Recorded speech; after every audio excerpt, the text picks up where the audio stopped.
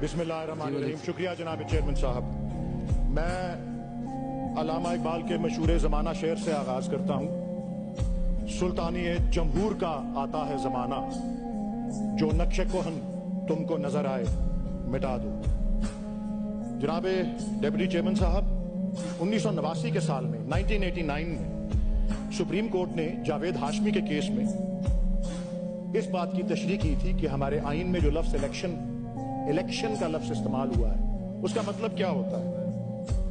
और वो ये तशरी थी कि वो महज इलेक्शन डे नहीं होता, वो महज वोट कास्टिंग नहीं होती, वो महज गिनती और नतज का मुकम्मल होना नहीं होता, वो एक पूरा प्रोसेस होता है। जनाब चेयरमैन साहब, उसमें बहुत से मराहल होते हैं, बहुत से लिंक्स बहुत सी कड़ियाँ हैं। शेड्यूल के ऐलान से लेकर कागजात कागजात नामजदगी का दाखिल करना, उनकी पड़ताल, उन पर एतराजात हतमी फहरिस्तें कैंपेन पोलिंग नतज ये छह सात मराहल मजमू तौर पर इलेक्शन जो है, उसके लफ्ज का मतलब बनते हैं। इन तमाम मराहल के दौरान, जिस तरह सेनेटर अली ज़फ़र साहब बयान कर चुके हैं, जो कुछ होता रहा कागजात के फाड़ने और छीनने के हवाले से, तजवीज और तायद कुनिंदा को अगवा करने के हवाले से कैंपेन के दौरान छापे एक सबसे मकबूल जमात का इंतबी निशान उससे छीन लेना। आठ फरवरी, नौ फरवरी, दस फरवरी और आज तक का अमल मुझे अफसोस से कहना पड़ता है। और काबिल मजम्मत ये बात है कि उसी तसलसल का इजरा रहा। सारे का सारा इलेक्शन प्रोसेस जो है, वो टेंटेड रहा। सिक्योरिटी के लबादे में cellular mobile service internet service, mobile internet service बंद करना, दुनिया भर में उसकी मजम्मत हुई है। हम कहते हैं हमें इन्वेस्टमेंट चाहिए, हमें बिज़नेस चाहिए, हमें मीशत की तरक्की चाहिए। हमने प्रमोट करना है अपने मुल्क को। ये पैगाम भेजते हैं हम कि अपनी मर्ज़ी पे जब दिल चाहे इंटरनेट बंद कर दिया, जब चल चाहे ट्विटर बंद कर दिया, जब दिल चाहे सोशल मीडिया के प्लेटफॉर्म बंद कर दिए। पाँच लाख छियानवे हज़ार सिक्योरिटी एहलकार, जनाब चेयरमैन साहब। ये मुख्त किए गए थे इलेक्शन की सिक्योरिटी के लिए। चले, आठ बजे से पाँच बजे तो इलेक्शन का अमल था, लोग घर चले गए, हजूम घर चले गए। तो छह बजे के बाद भी क्यों ये बंद रहा? ये ये बताना पड़ेगा निगरान हुकूमत को और इलेक्शन कमीशन के इसमें बदनीयती नहीं थी। साबित करना पड़ेगा, इसमें बेईमानी नहीं थी, इसमें बदनीयती नहीं थी। जनाब चेयरमैन साहब, नब्बे हज़ार पोलिंग स्टेशन जिनके बाहर चीफ इलेक्शन कमिश्नर ताकीद कर चुके थे इलेक्शन से दो दिन पहले। सब रिटर्निंग अफसर्स को कि फॉर्म 45 आवेजा करेंगे। कहाँ है वो फॉर्म 45 ऐलान कर चुके थे चीफ इलेक्शन कमिश्नर के रात के एक बजे तक नतज आ जाएँगे। मुझे फ़ौरन मुबसरीन बाहर के मुल्कों के जो सुफरा हैं डिप्लोमेट्स हैं, उनके लिए इलेक्शन कमीशन में पूरा हॉल था। और उन सबको कहा गया था। आज के साढ़े आठ, नौ बजे रात के कि जी दो बजे तक तमाम नतज आ जाएँगे, तमाम नतज एक भी नतीजा नहीं इंटरनेशनल कम्युनिटी ने सबसे मौसर अल्फाज में इंतखाब की शफाफियत के सिलसिले में अपने तहफात का इजहार किया है। United States Great Britain European Union अकवा मुतहदा के सेक्रेटरी जनरल कॉमनवेल्थ के ऑब्जर्वर्स जिस दीदा दलेरी से इस पूरे प्रोसेस के अंदर उसकी आवाम के मैंडेट की पामाली हुई। वो सब दुनिया भर ने इस बार नोटिस लिया है। और 2024 के इंतबात में धांधली के खिलाफ जिस जोशो खरोश के साथ आलमी प्रेस ने आवाज़ उठाई है, वो एक नया रिकॉर्ड है।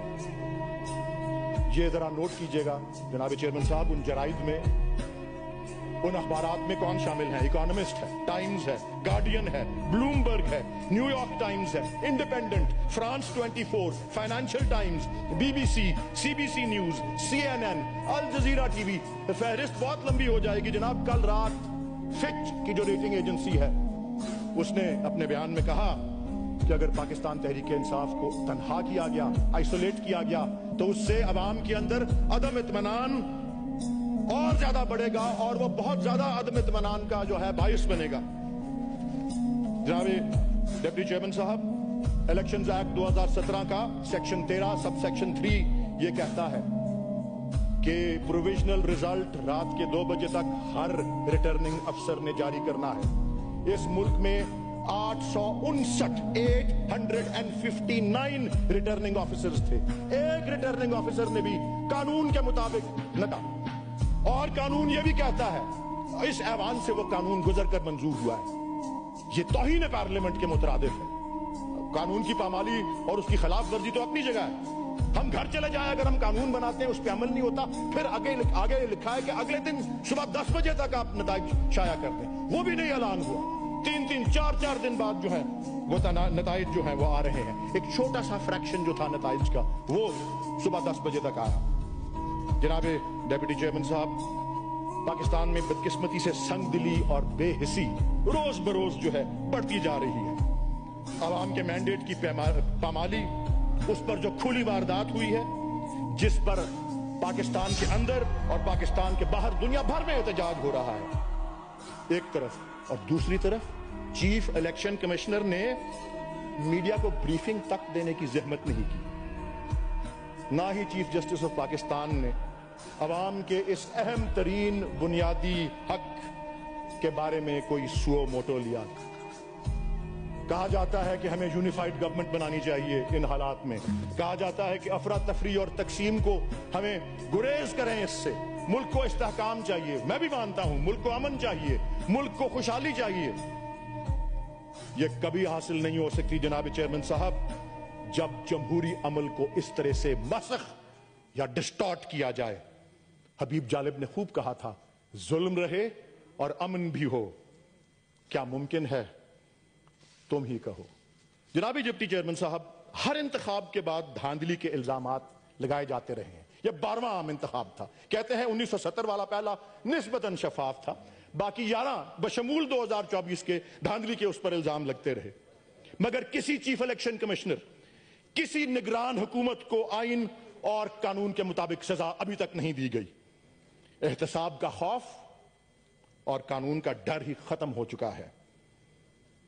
इलेक्शन से एक दिन पहले हमारे निगरान वज़ीर आज़म एक बैरून मुल्क खबर ऐसा एजेंसी को कहते हैं कि मैं गारंटी नहीं कर सकता कि फेयर एंड फ्री इलेक्शन होंगे। फिर चार दिन बाद प्रेस कॉन्फ्रेंस करते हैं और कहते हैं कि अवाम ने रिज़ल्ट को एक्सेप्ट कर लिया है and they have moved on.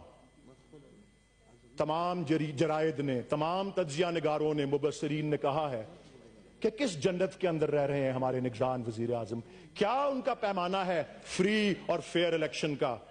ये जो कुछ हो चुका है और जो कुछ मेरे फाजिल कॉलीग्स कह चुके हैं, मैं तो यही तंबीह करूँगा जो कि फैज अहमद, फैज मरहूम के अल्फाज में थी और इजाज़त लूँगा कि हर एक उल अमर को सदा दो कि अपनी फरते अमल संभाले। उठेगा जब जमे सरफरोशा पड़ेंगे दारो रसन के लाले, कोई ना होगा कि जो बचा ले। जजा सजा सब यहीं पे होगी। यहीं अजाब सवाब होगा। यहीं से उठेगा शोर महशर। यहीं पे रोज़े हिसाब होगा। पाकिस्तान थैंक यू जी। जी सेनेटर इरफान सदीकी साहब।